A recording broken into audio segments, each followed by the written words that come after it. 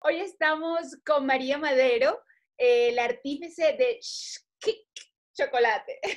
Ay, lo dije bien, aunque sí. María, ¿dónde trabaja? En México. Eh, ¿De qué va Shkik Chocolate? Shkik es una empresa joven fundada por mujeres. Empezamos hace tres años eh, en Yucatán. Este proyecto nace con una investigación para una tesis de maestría en responsabilidad social. Lo que se investigó fue primero las problemáticas que hay en torno al cacao y al chocolate en México problemáticas sociales y problemáticas ambientales. Y se propuso un modelo de negocio que mejorara estas condiciones. Nosotros trabajamos con cinco comunidades en el sur de Tabasco y en el norte de Chiapas. Primero Cerro Blanco, eh, Galeana, Sarabia, Rocío y Zunu. Chiapas, en la zona de Juárez, estamos desarrollando con varios productores que se haga una buena post cosecha para que sean nuestros proveedores en el futuro y que también ellos puedan, eh, dándole este valor agregado a su cacao, venderlo eh, a otros clientes. ¿Cuál es la dificultad mayor de ser una chocolatera en México? Que es eh, la formalidad de hacer una empresa, o sea, la estructura legal, fiscal, de permisos, toda esa parte es compleja y es mucha papelería y burocracia. Entonces todo esto pues toma bastante tiempo. ¿Estás consciente que ha sido una de las primeras que ha lanzado al estrellato orígenes únicos de cacao mexicano?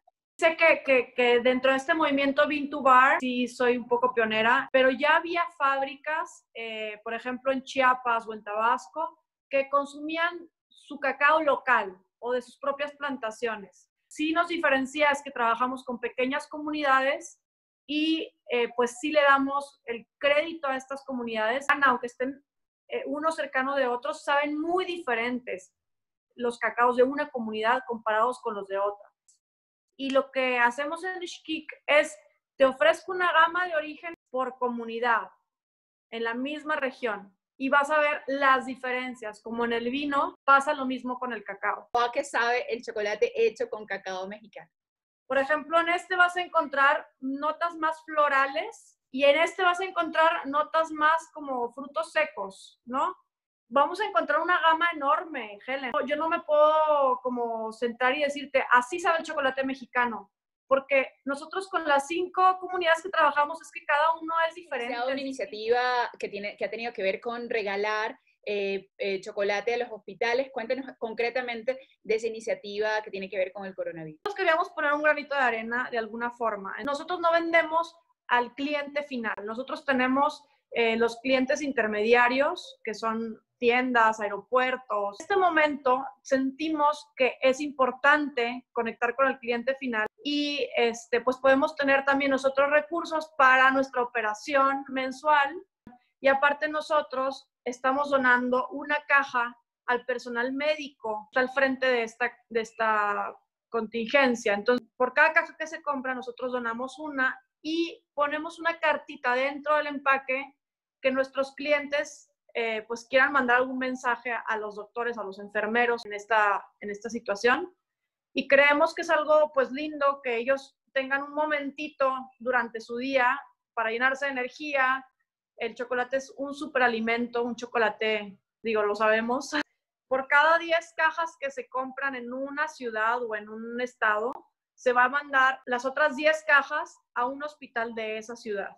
Entonces ya hay gente, por ejemplo, en Villahermosa, Tabasco, gente que está eh, pues pasando la voz para que se junten las 10 cajas allá, en Yucatán ya se juntaron, en Nuevo León, donde está Monterrey, también ya está gente, ya, ya casi se juntan las 10 cajas, aquí en La Laguna también, entonces yo he visto que la gente como que busca formas de apoyar y, y les ha gustado de esta manera, ¿no? ¿Qué tips o qué consejos le darías tú al ecosistema chocolatero para salir adelante? Iniciativas como esta, donde hagan cosas que antes no hacían, que no se atrevían, que, que las experimenten, porque es un momento donde todo se vale. A ver, la tienda en línea a lo mejor para muchos es como, ¿y cómo lo voy a hacer? Pero, pero, pero se vale ahora eh, ver qué sucede. La gente está todo el día metido en su celular. Ahorita es cuando hay que perderle el miedo a la tecnología o sea, que, que vean estas nuevas maneras y probablemente son maneras que se van a instaurar y quedar.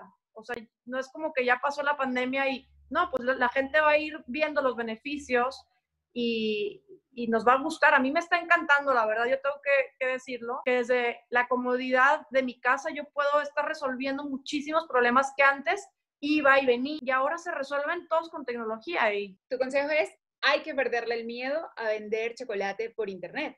Sí. No tengo la experiencia, apenas lo voy a hacer, pero sí. Unas palabras de ánimo, porque nadie mejor que los millennials para animarnos en este momento. O sea, hay como dos opciones, ¿no? O irnos al, a, a, lo más oscuro y, y, lo más triste y lo más negativo de esta situación, o irnos hacia la luz, hacia lo más eh, brillante, a lo que nos, nos hace crecer como seres humanos, como, como personas, los invito a que, a que vean que hay opciones, que, que no se queden con, la, con la, el drama, la tristeza, la paranoia, el miedo, sino que vean la otra opción y que abran una puerta a esa opción y, y, y empiecen a dar, aunque sea pasos pequeñitos, hacia allá. Lo veo como algo eh, hermosísimo, o sea, esta oportunidad. ¿Por qué tenemos que probar chocolate mexicano hecho con cacao mexicano alguna vez en la vida? Cacao mexicano tiene una particularidad que, envuelve historia y cultura, o sea, no es nada más un cacao ahí más. Estas zonas, estas regiones donde crece el cacao, es donde vivían eh, los antiguos olmecas, donde empiezan las culturas mesoamericanas, la madre de las culturas, los olmecas, vivían en, en, la región de Tabasco. Lo tienen que probar porque el chocolate se origina en México.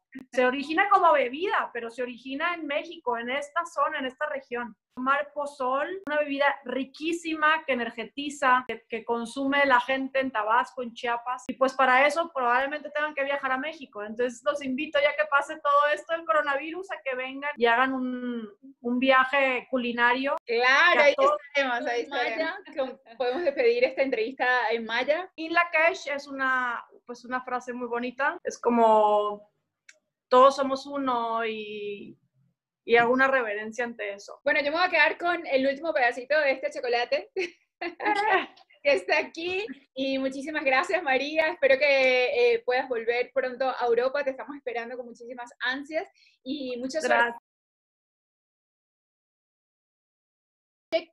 Chocolate. No, Helen. No, es, es kick, es kick. Es imagínate, imagínate. Okay. Es como shh, y luego kick de un okay, okay. inglés. Te mando un beso. Ahora sí, ya. Igual, Listo, gracias por todo.